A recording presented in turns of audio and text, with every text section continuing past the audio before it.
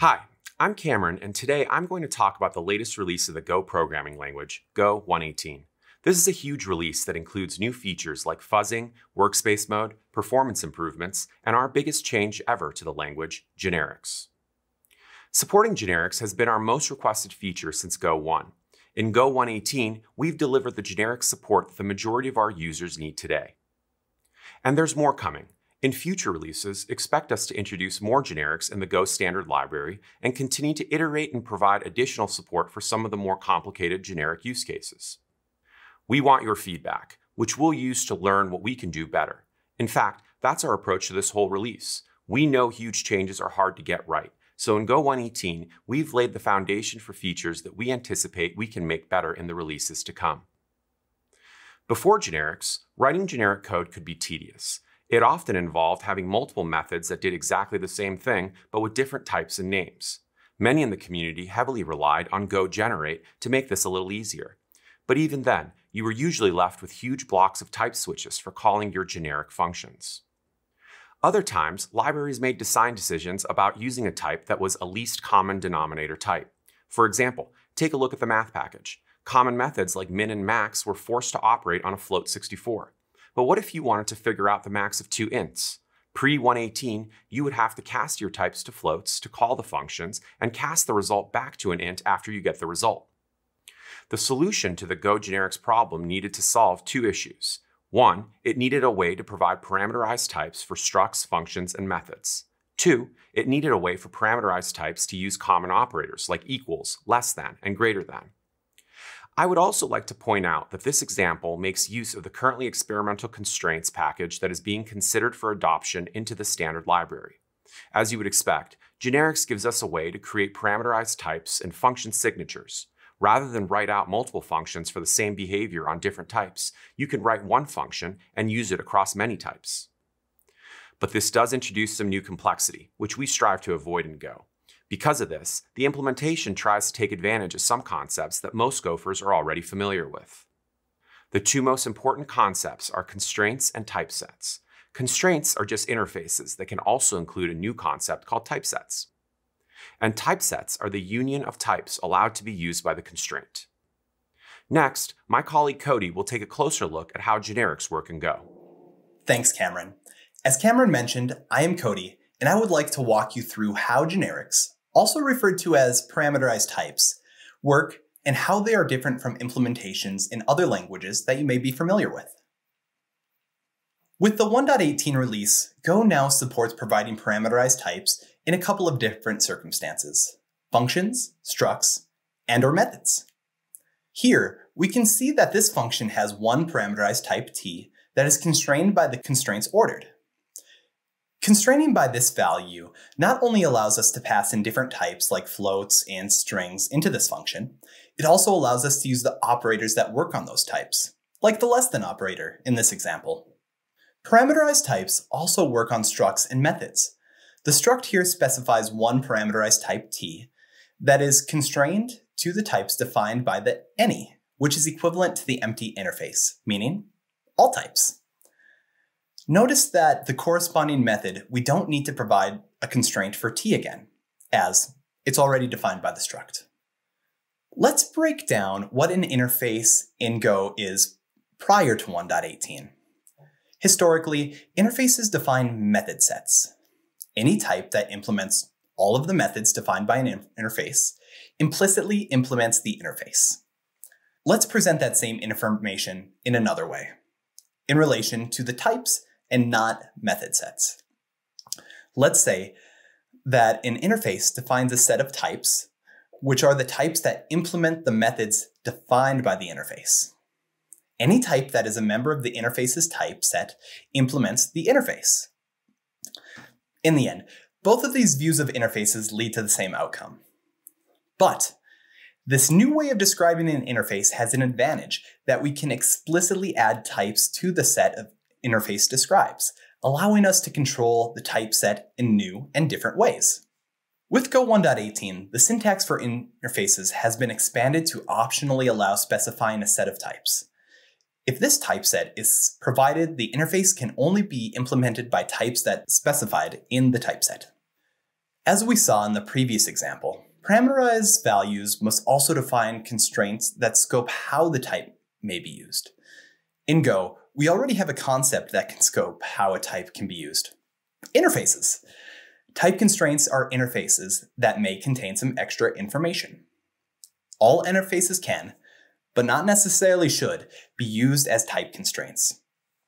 The inverse is not true though. Not all things that can be used as constraints can be used as interfaces. Here's an example of how constraints package define the sign interface. The sign interface defines a set of all the built-in signed int types. The pipe symbol between the types is used to express that we are taking the union of the typeset. Also note that we don't need to provide methods for this interface. Since operators like plus, minus, and less than all work for the types defined by this interface, any parameterized type that is constrained by this interface may also use those operators. We don't always want to restrict an interface to a particular type. Sometimes we want the definition to be a little more fuzzy. This is where the new tilde token comes in. When put in front of a type, it means the set of all user-defined types whose underlying type is that type. This means that the type myInt64 in the example also satisfies the signed interface. Now that we have learned the concepts behind Go's generics, let's take a quick look at how they compare to using generics in Java. One of the biggest differences is that Go does not have type erasure. This means that at runtime, Go retains all of the type information associated with the calling function or method. Here, we can see, by using the reflect package, that the type information of the parameterized type is preserved at runtime. Another difference is that Go also does not have the idea of wildcards. Since Go is not a traditional object-oriented language, as it does not have type hierarchies, there is no need for wildcards. Like the rest of the language, Go's generics are designed with simplicity in mind. This means some of the more complicated features associated with generics in other languages are not present in Go. These include no specialization that allows writing multiple versions of a generic function designed to work with specific types, no metaprogramming, allowing code to be written at compile time to generate code to be executed at runtime. No contravariance or covariance, for the same reason Go doesn't support wildcards. No operator overloading for things like accessing a map with the bracket syntax. Now that we have learned what Go generics are and are not, let's take a look and see where using generics in Go makes sense. One example of a good use case is when you are writing functions that work with container types that can be used to process elements of any types. For example, here we have a function that checks if two slices are equal. To do this operation, we only need to be able to compare the elements of the slice. So we use the built-in constraint comparable. That allows us to do just that. Another case you might consider using generics is when different types need to implement some common logic and the implementation looks the same for all of the different implementing types. For example, let's consider the case where we need to sort a slice. The standard library defines a sort interface that requires three methods, len, swap, and less. This example shows a generic struct that implements the methods for all slice types. This can be done because the logic for all types is exactly the same. Here, we can see how the previously defined slice func type is used to sort any slice that can provide a comparison function. Here, type parameters can be used to make it easy for any type to implement the sort interface. Type parameters worked well here because the implementation looks the same for all types. We have seen some examples of where to use generics, now let's take a look and see where to not use generics. As discussed earlier, basic interfaces already provide a sort of generic programming in Go prior to 118. If you are only calling methods defined on an interface, it is better to not use type parameters. For example, this function defines a parameterized type t that is constrained by IOReader.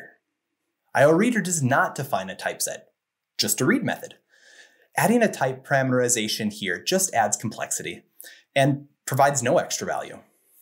A function instantiated with a type argument will most likely not be any faster than code that uses interface methods. Avoid using generics in cases like these. Removing the previous parameterized type helps make this function signature more readable. Another place we should not use generics is if the implementation is different for each type. In this case, just use different methods and don't try to force generics into your code. For example, the implementation from reading from a file on disk and a network socket are quite different. So, different methods should be defined for each operation. Also, there are times when using reflection might make more sense than using generics. An example in the standard library is the encoding JSON package. If we required the use of an interface, that would require every type passed in to define a Marshal JSON method. This would be quite cumbersome, and different types are encoded differently. Generics doesn't make sense in this case. Now let's take everything we've learned so far and see how we can apply what we've learned about generics to simplify a simple web app written for Go 1.16. Let's take a look at the web app I have deployed to Cloud Run. It's currently deployed with the Go 1.16 runtime, which just stopped receiving security updates with the release of 1.18. So it's time to update to the latest runtime. The first step is to change the version declared in the go.mod to 1.18. Next, let's take a look at our main.go and see what's going on in our web app.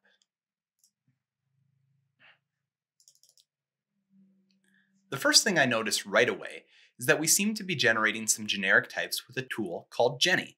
Let's take a look at that code. Here, it looks like we're defining a generic number type that will later be generated into concrete functions for each type. The function here is taking the max of the elements in a slice. Let's go take a look at the generated code. It appears that the two functions are generated for the two different types that we are working with. This is a great example of a place we can refactor our code to use generics. So let's do it. I'm going to start by copy and pasting one of the implementations into our main.go.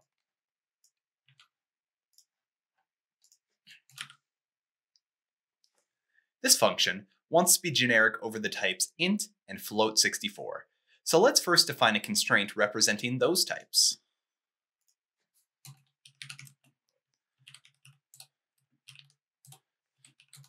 I'm going to make use of the Golang X EXP library, which provides some common constraints.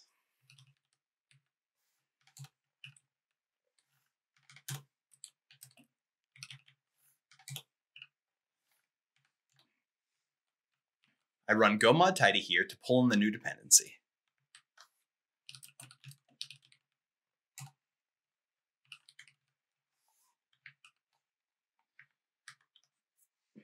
Now, let's substitute out our int type for the generic type t bound by our number constraint.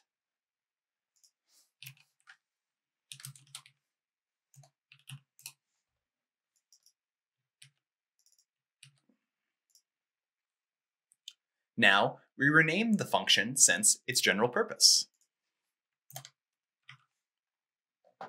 Next, Let's find the spots that called the old generated functions and replace them with our new generic function.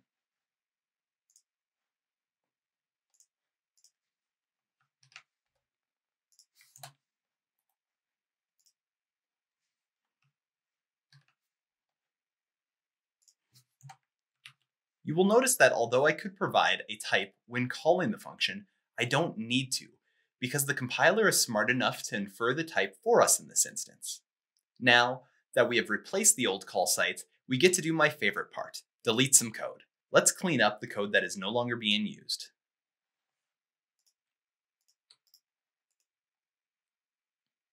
It also looks like we no longer need the dependency on genny, so let's run go mod tidy to simplify our dependency tree.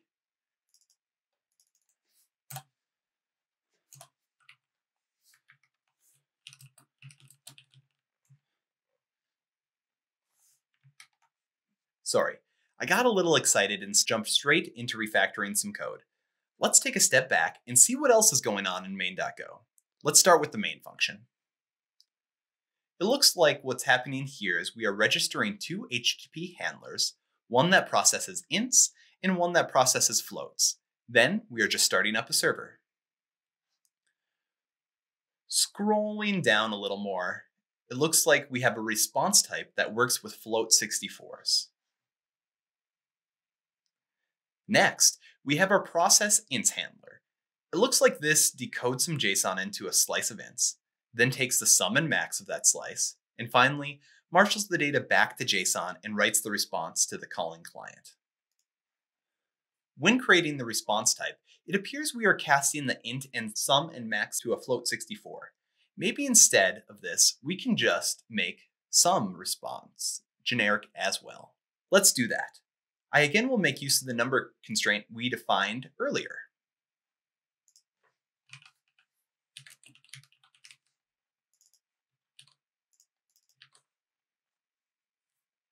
And now we just need to refactor where the type is used.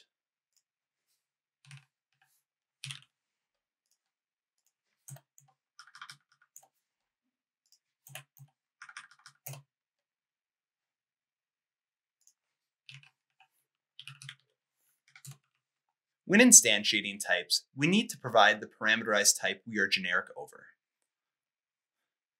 It looks like the sum variable returned from our sum function is not the right type. Let's take a closer look at the sum function to see if we can do some more refactoring there. It looks like a lot is going on here. The first thing I notice is that the function takes an empty interface, which is a good first signal that we may be able to refactor it. Next, I notice that we cast the input parameter to a slice, then type switch on the element type. Then it appears we take the sum of either an int or a float 64. This code can definitely benefit from a refactor. We will again use the number constraint we defined earlier and make the function generic over t.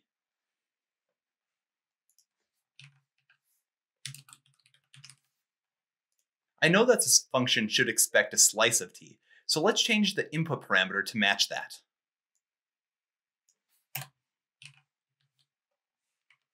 Let's also change the return value to t so that the function operates only on one type. Now, we just clean up the rest.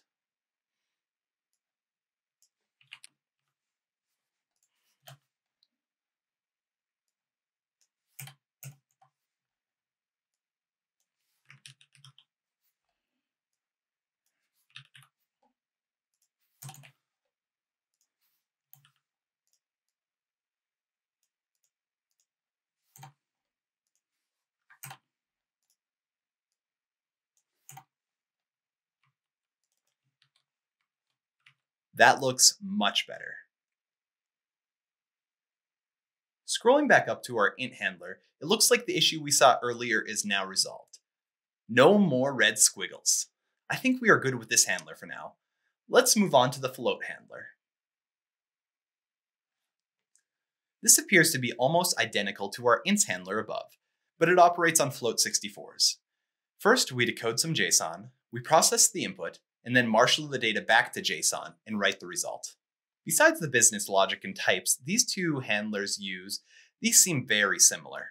Let's see if we can do some more generic refactoring here and make a general HTTP handler. Let's start by copying one of the existing handlers.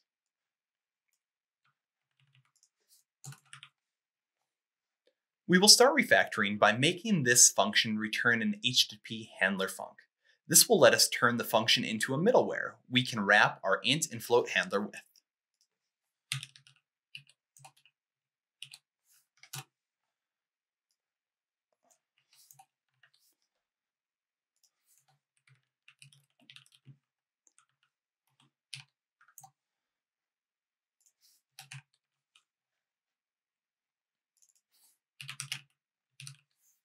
Now, Let's figure out how we can abstract away our business logic.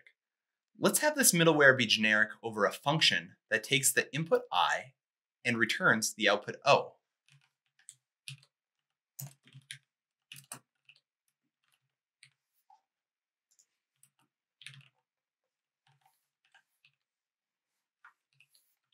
Here, I'm making use of the any constraint, that is a new keyword. And as mentioned earlier, is just an alias for the empty interface, meaning we can pass any type to it. Next, let's refactor out the business logic out of the generic handler and have just those bits in the int and float handlers.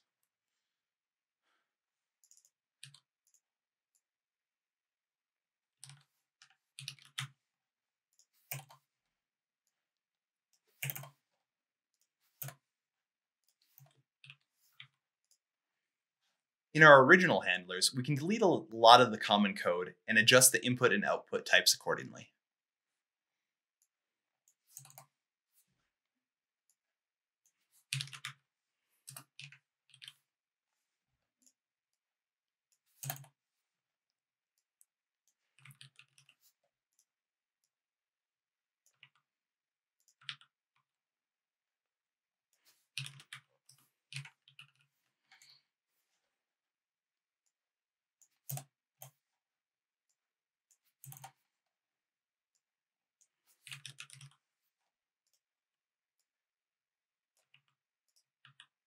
We can actually take things one step further and reduce this down to one generic process handler that is constrained by number again. Let's see what that would look like.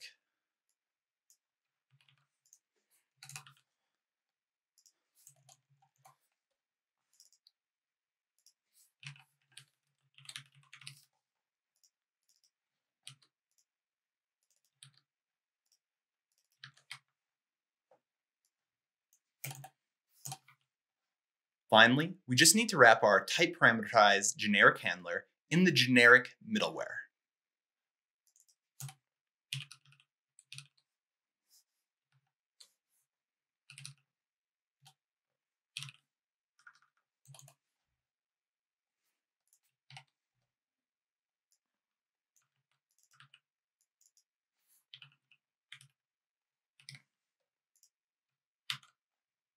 We just did quite a bit of refactoring in a short amount of time.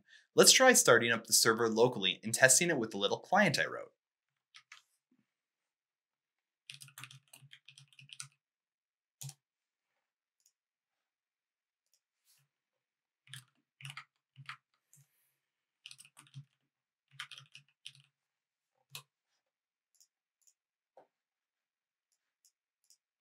Hey, we did it. It works. I have this workload deployed to Cloud Run on Google Cloud. So our last step is to ship it. gcloud run deploy. And in a few moments, we would have our new generic app up and running on the cloud. In this small example, we were able to reduce our code base by over 40% and get rid of a dependency, all by adopting generics. I hope that this helped reinforce some of the ways that adopting generics can simplify your code base. Back to you, Cameron. Thank you, Cody, and thank you to everyone who tuned in. In recap, generics are a powerful way to simplify your code, and we hope that you'll use them to be more productive. Tell us what you think. We're eager to incorporate your feedback to be sure we get it right. Thank you.